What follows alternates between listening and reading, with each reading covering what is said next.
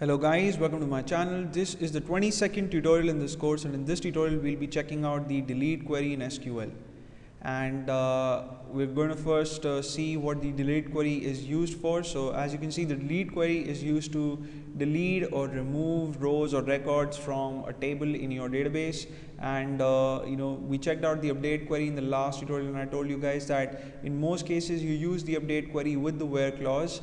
And uh, you know just like update you use the delete query with the where clause too in most cases unless of course you want to remove all rows or records from your table right? And uh, the syntax of the delete query is pretty simple. You have uh, just one keyword one new keyword and uh, that is delete right? And uh, you put in that and after that you put in the keyword from and then you specify the name of your table and uh, then in case you want to put in your where condition you put in that but that's optional. So you know it's not uh, something that you have to put in uh, your query. And let's check out an example in the MySQL environment to you know get a better uh, grip of things. So I've got my workbench and uh, what I'm going to do is I'm going to quickly execute the select uh, star from employee query and uh, have a look at the data that I have in the table.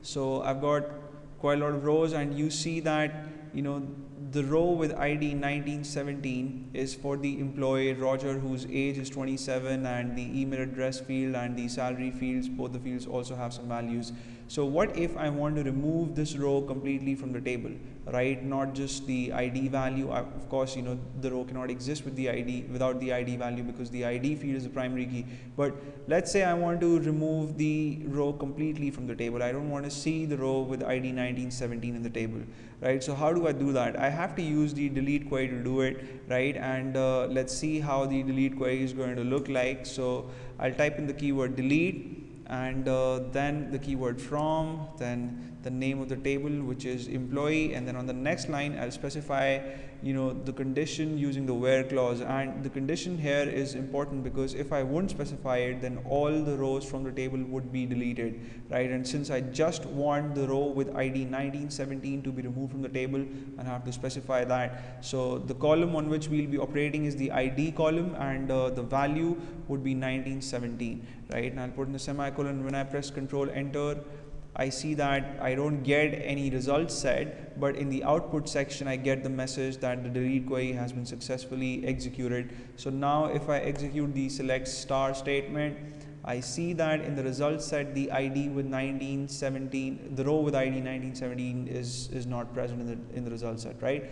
So it has been removed. So th that's about the delete statement. Another way of uh, removing rows, if you, you know, just want to uh, understand the GUI way of doing things and you want to get things done quickly is that you know you go to a record and you you know select it first. You have to select the record right? And uh, then you right click and you select delete rows from the menu that you get. And uh, when you close your results set you're asked you know whether you want to apply changes or not. And if you click on apply then you know the window shows the query that would have to be executed to make the changes that you've uh, made.